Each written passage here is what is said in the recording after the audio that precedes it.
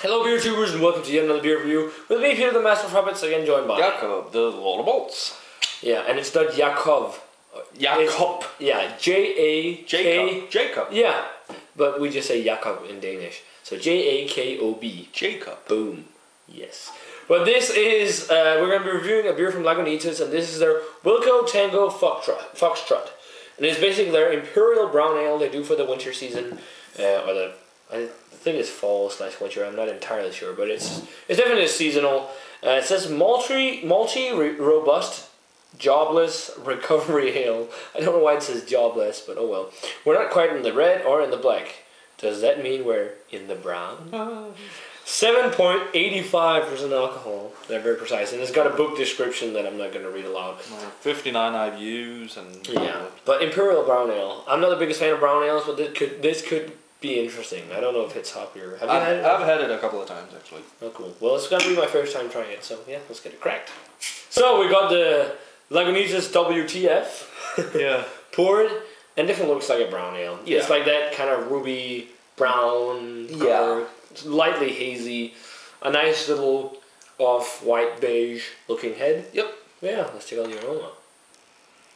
Yeah, I think this has been a little more hoppy than this is. It Yeah. does have a hop, kind of older hop aroma, but definitely smells like a brown ale. A lot of nutty notes, but with a more hop, addi- bigger hop addition, like yeah. some citrusy notes. uh, Smells like a hoppy barley wine or an old. yeah, I think it smells barley like wine. a Indian brown ale, as people call it. But a little bit of that, some grassy, citrusy notes. caramel. Yeah, caramel, toffee, toasted nuts. I really like the addition of the hops though, but it does have a little bit of that tea leaf. Yeah, maybe a little hazelnut, Yeah, nutty note. yeah. But that said, it, it doesn't smell bad, but it's it, it's not super enticing either for No. a Lagunitas beer. But that might also just be because I'm not the biggest fan of brown ales. Um, but Yeah, probably. yeah, a lot of nuts, a lot of caramel, toffee, all that stuff. You want to give it a taste? Yes. Cheers.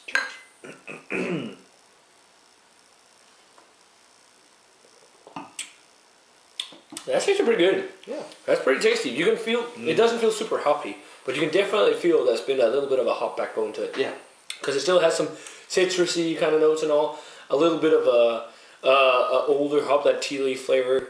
Some toffee notes, toasted maltiness, um, caramel.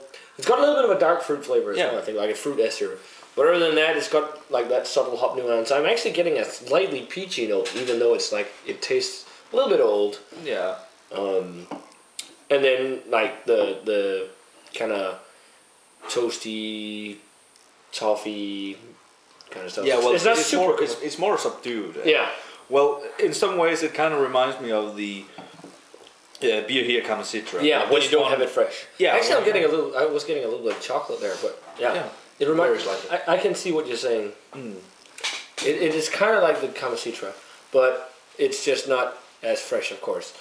Uh, but if you have the Kamacitra with a little bit of age, it's kind of like this, even though this is a little more alcohol. Yeah, uh, forward yeah. or something. Yeah, a little more of an alcohol backbone, if you can say it like that. But rating wise for me on this one, I'm gonna go. I'm gonna go uh, an 80, 82. It's a pretty tasty kind of brown imperial brown ale. I would have loved to try it fresh because you can taste that it has had a little more of a hop character. Um, yeah, and it, I like the little bit. There's a little bit of a like a dark fruity ester in there too. Yeah. well, I'm gonna go 85. There. Oh yeah, I didn't even consider that the price. Yeah.